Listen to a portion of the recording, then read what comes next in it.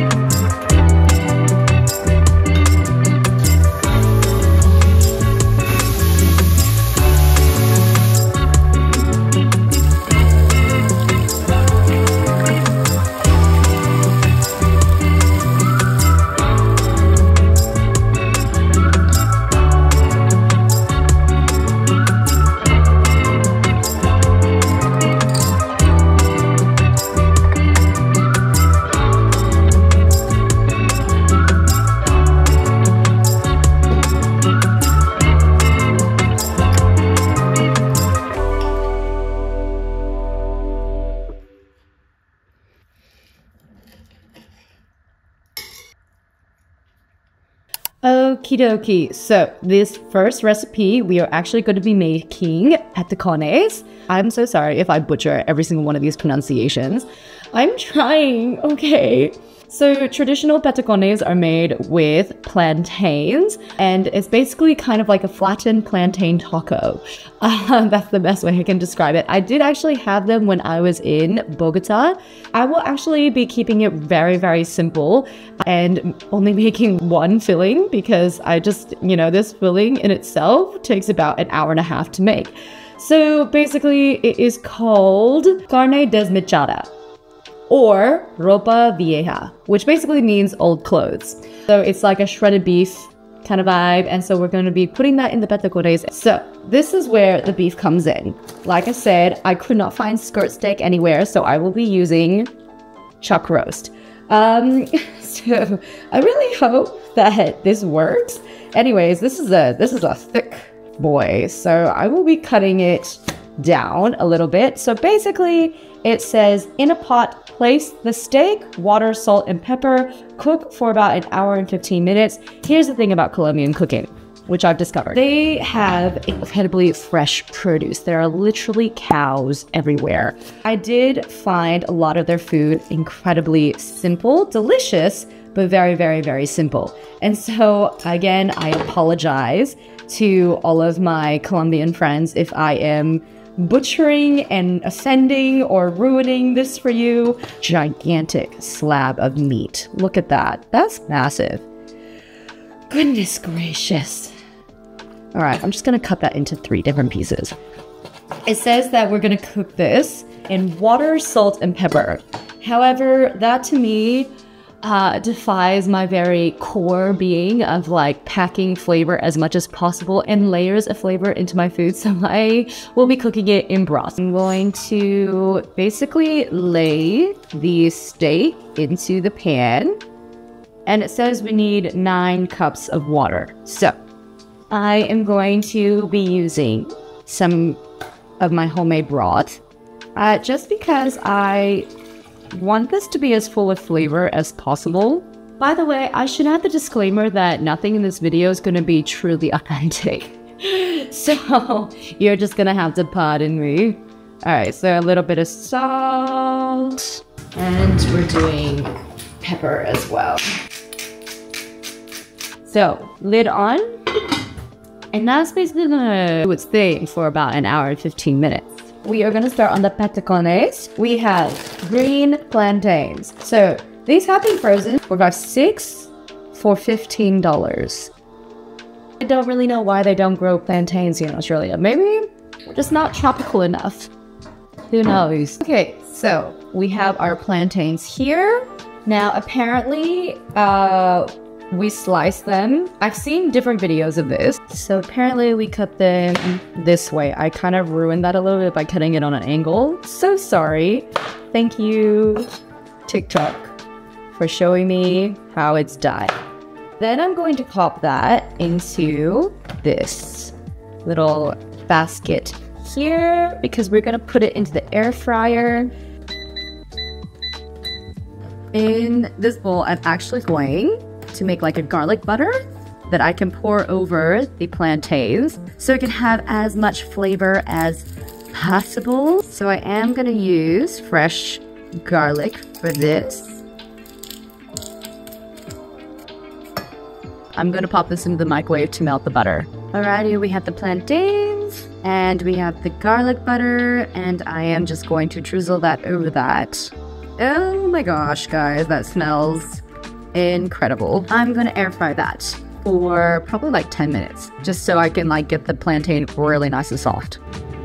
Alrighty, while that's air frying in the background, I am going to prep the next step, which is hogao, which is kind of like a tomato onion salsa, but apparently you cook it down. We're gonna start off with chopped tomatoes.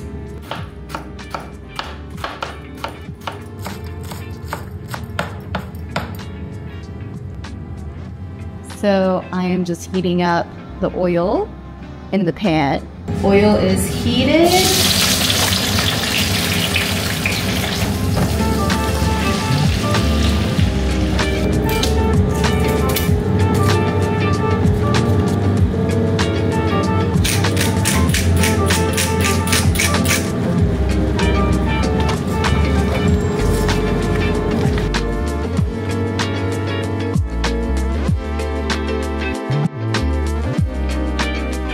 Plantains have finished air frying.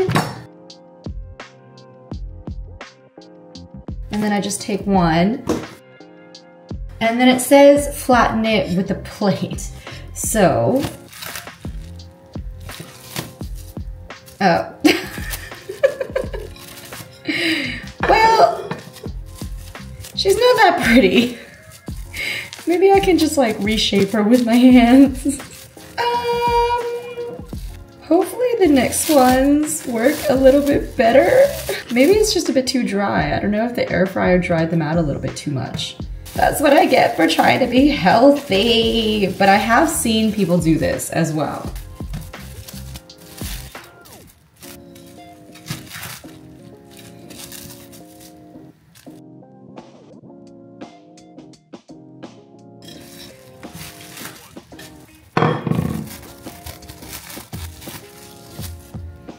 That one kind of worked.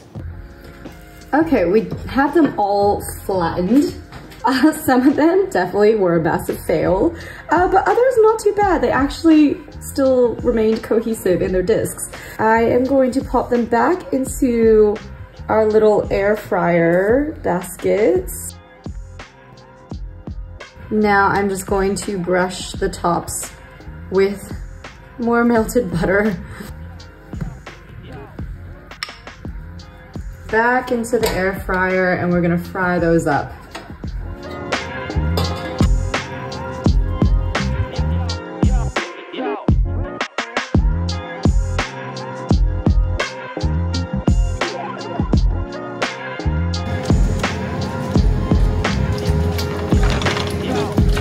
Alrighty, my friends, it is 12.41 and I am proper starving at this point in time. So I've got the hogao that has finished cooking. So now I'm going to put one cup of the beef juice in there, as well as all of our shredded beef.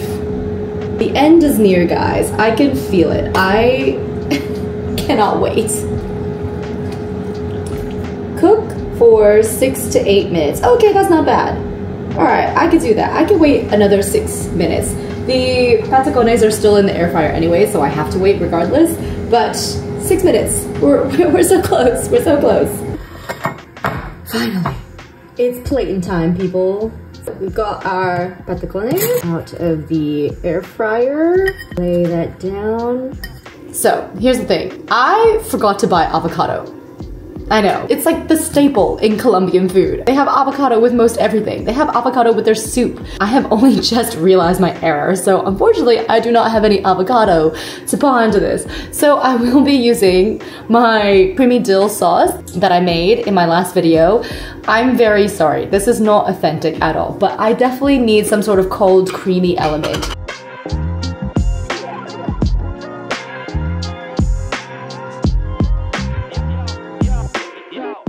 My gosh, this looks incredible. Unfortunately, there are no, there's not very many vegetables in this dish.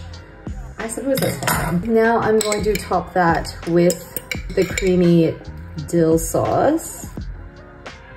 And I actually have some coriander that I'm gonna pop on top. Just like that. And voila. Lunch is finally served. Y'all have no idea how hungry I am right now. I had breakfast at like 5.30 a.m. and it's now 1 o'clock. Oh dang. The beef is amazing.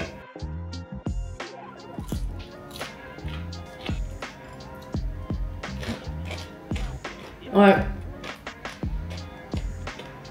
I like the crunch. They are very messy to eat though.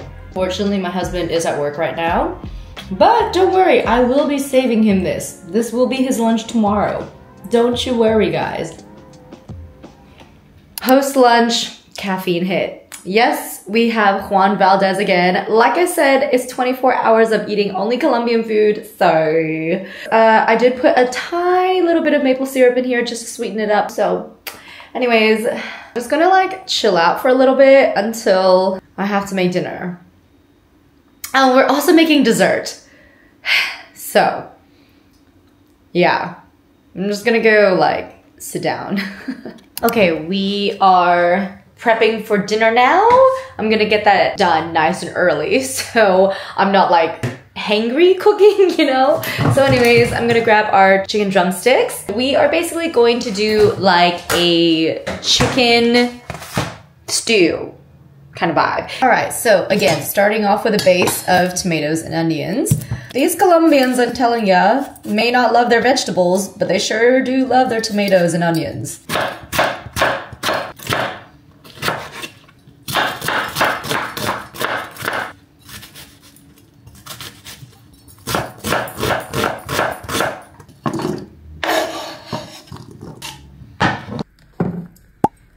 Um, and it says slice them, but because it's like a stew, I'm just gonna do like a little dice kind of vibe.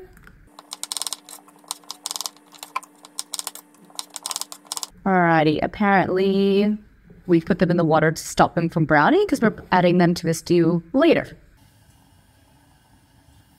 I'm going to pop in our chicken. And let's salt them up.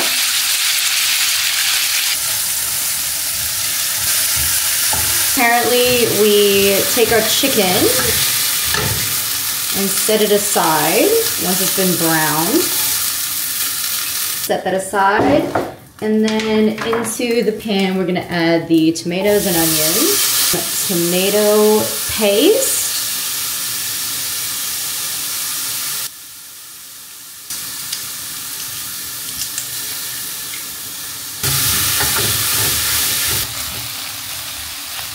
Okay, now we're gonna add in all the spices. I'm gonna start with cumin.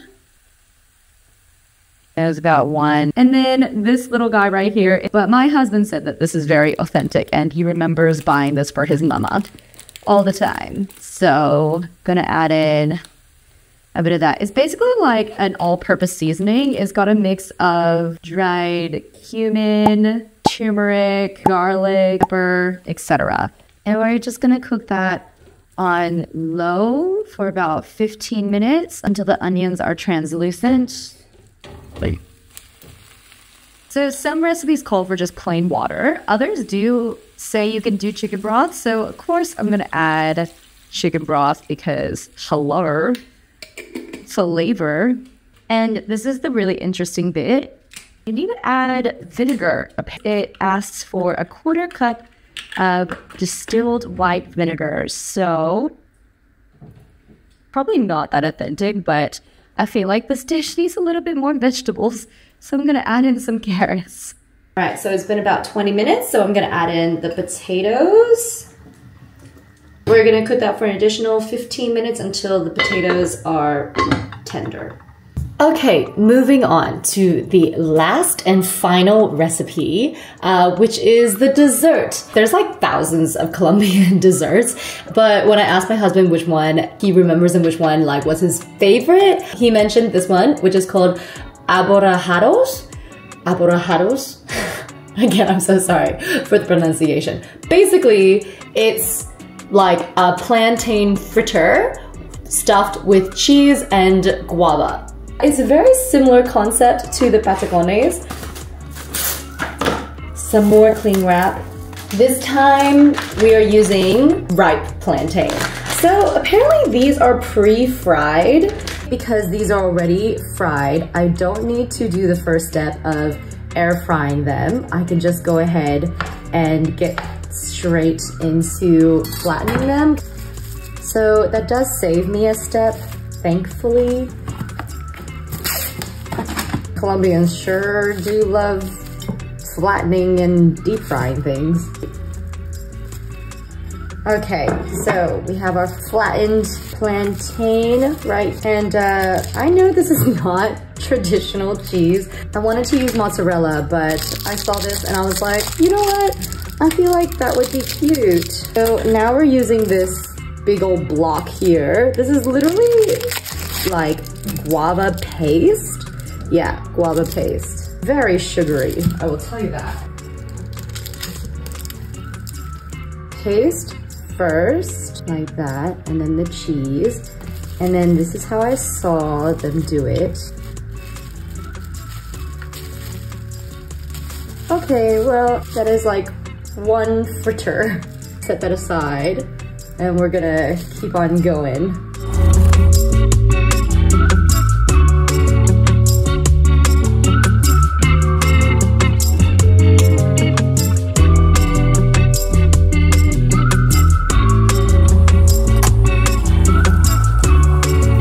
Now I'm going to be making the batter for this. By the way, you'll notice that I changed my jumper because I absolutely trashed my other jumper. um, so yeah, hence the quick little outfit change. Four tablespoons of flour. I actually don't have flour, so I am going to be substituting with oats and I'm gonna blend that up and make an oat flour. So hopefully it will still work the same and uh, make it a little bit more, you know, just nutritious. Alrighty, we have our blitzed up oat flour. One, two, two tablespoons of milk. I'm substituting with oat milk. I'm gonna whisk that up. And two tablespoons of sugar. I'm gonna be substituting maple syrup. Okay, so essentially we want to take the fritter, dip it into the batter, and then we're going to use our good friend, the air fryer, once more.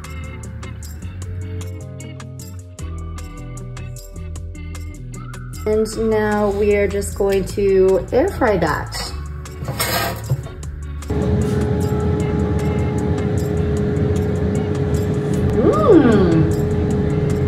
That's good. Alrighty guys, it is time to finally plate up dinner. So, um, Traditionally, this is served over rice, or you can have it with arepas, but I've already got pre-made rice. And this is the little frozen rice hack that I always showcase in my meal prep videos, so make sure that you watch those if you haven't. I'm just gonna pop one in each. And my husband saved the day. He actually brought home an avocado because I believe they typically serve this with avocado on the side. Like I said, they have avocado with most everything. What a beautiful, beautiful avocado. I could honestly not do a full day of eating Colombian food video without having avocado in something. You know, like that's just not it. I feel like that would just not be authentic.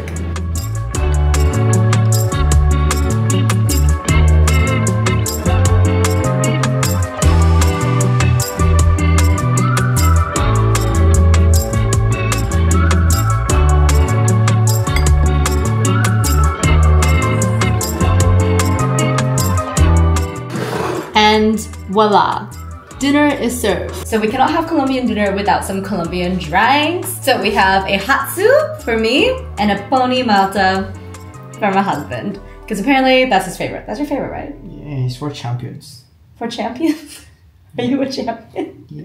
Yo soy Pony. Actitud de campeones. So when we were in Colombia, this was literally everywhere. And uh, this is honestly amazing. It's called Hatsu tea, yuzu and manzanilla. Manzanilla. Manzanilla. This is Pony Malta. It's like a malted, I don't know, it's like a malted drink, but it's non-alcoholic. No, no. And it just, it kind of reminds me a little bit of this Chinese venison that I had growing up, but that's okay. It's still a little bit tasty. We got our dinner, we have our drinks. Disfrute la comida. Disfrute la comida.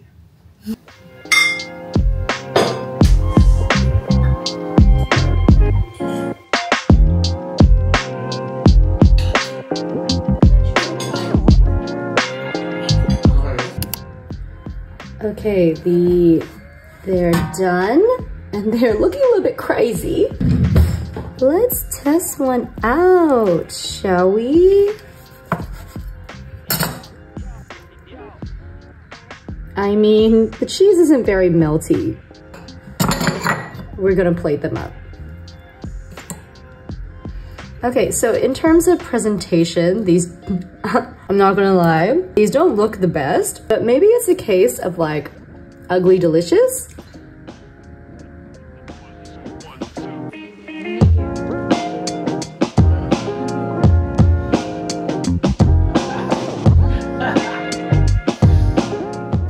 Alrighty, that concludes today's video. I hope that you guys enjoyed. I personally absolutely loved today. I did find it quite exhausting, only just because I never cook with recipes. Trying to follow a recipe, trying to make sure that it is as authentic as possible uh, was a bit of a challenge. I actually want to kind of make this into a bit of a series because the truth is, is that I can only cook from my own personal experience. And I know that there is a whole universe of amazing food out there. Different cultures, different spices, different flavors, different techniques. And I want to be able to learn as much as I can because I want to be able to kind of expand my repertoire and my knowledge because I feel like the more that you immerse yourself in other cultures and other, and like learn about their food, the more that it helps you have a lot more diversity, a lot more range in your meals. So comment down below which country you reckon I should do next. Better way to appreciate another culture and actually get educated about another culture than eating what they eat and learning about their food, you know? That is basically all for today. Thank you so much for watching. I hope that you guys enjoyed and I hope that this was entertaining and uh, maybe inspirational for you. I honestly feel like I will be incorporating that into my meal preps more often because it is just so simple, it's so easy, and it's honestly so tasty. I already have arepas most days with my husband and uh, again, let me know which country should I do next? All right, catch you all later. Bye.